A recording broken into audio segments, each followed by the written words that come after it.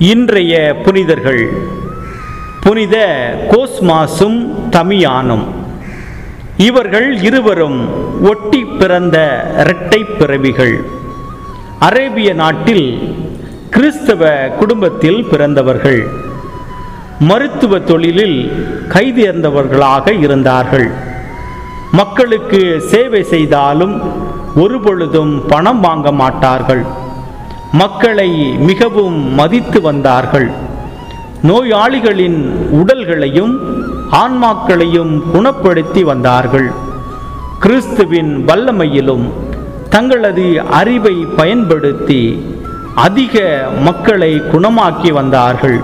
தியோக்ளேசியன் பேரரசன் காலத்தில் இவர்களை பிடித்து அதிகாரிகள் முன் கொண்டு போய் கொடுமையாக வாட்டி வதைத்து தலையை வெட்டி கொன்று போட்டார்கள். இந்த புனிதர்களுடைய வாழ்க்கையிலிருந்து நாமும் ஒரு பாடத்தை கற்றுக்கொள்ள வேண்டும். அதாவது இறைவன் நாம் ஒவ்வொருவருக்கும் அறிவையும் ஞானத்தையும் கொடுத்திருக்கின்றார்.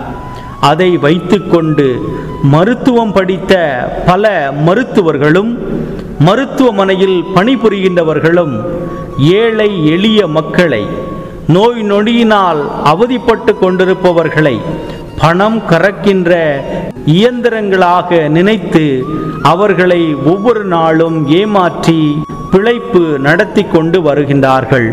இந்த நிலை மாறவும் இறை அச்சத்தில் ஒவ்வொருவரும் வாழவும் நாம் இந்த புனிதர் வழியாக வரம் வேண்டுவோம்.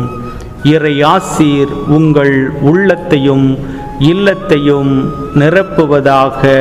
ஆமீன்.